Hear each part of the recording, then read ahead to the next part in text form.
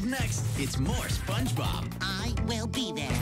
on Nick. Hello everyone, Spongestur here, and welcome back to Quicktoons, the show where I review an episode of a cartoon in less than 5 minutes. Today, I'm reviewing the Season 5 episode of SpongeBob SquarePants called Krabs a la Mode. In this episode, Plankton turns the Krusty Krab into an ice skating rink in an attempt to steal the formula. This won the Best of Season 5 poll by one vote, so it was a pretty close match. But unfortunately, when I was younger, I didn't like this one. I didn't like how jerky Mr. Krabs was, but now that my taste has evolved over the years, is it still bad? Honestly, not really, but I still don't love it. Let me just get the jokes out of the way. We have Mr. Krabs' front lawn, Old Man Jenkins getting locked in the Krusty Krab, Patrick getting his tongue stuck on the pole, Plankton exclaiming, I touched the thermostat, and there's also the resolution, where Plankton's plan gets foiled by a bunch of hockey players and SpongeBob blocking the exit. That and the fact that Patrick had has tongue on the machine. And it might sound like this episode was extremely funny, but it's really not, especially in the middle part, when Plankton and SpongeBob are fighting each other. Most of the humor was slapstick humor, and the slapstick humor was very hit or miss. I don't find it as funny as other people did. This episode could have really used more variety in jokes. Also, here's two more things that bug me. Mr. Krabs in this episode is the exact reason why I don't like him, at least in post movie, because his only purpose here is to be as greedy and obnoxious as possible, and it's not very funny. I do get that he's supposed to be unlikable, and he's not the main focus here, but it's still not fun to watch, and he only gets rewarded for being a jerk. I said in my Squid Baby review that Mr. Krabs was worse than Patrick. Yeah, I still stand by that. Also, here's a small thing. Why did the customers come back after they leave? Like, what made them come back to the Krusty Krab after they hated it? Was it because they saw SpongeBob skating with Krabby Patties? They really give no reason here for why they come back. It's only there just to make Plankton mad. Overall, this episode is okay. I wouldn't recommend it, but I'm fine with watching it. It has good jokes and a good premise, and I'll watch any episode with Plankton. But again, Mr. Krabs here is just not funny. And that middle part is kind of boring. I honestly don't get why people love this one so much. And I know that I've been giving out this score quite a bit lately,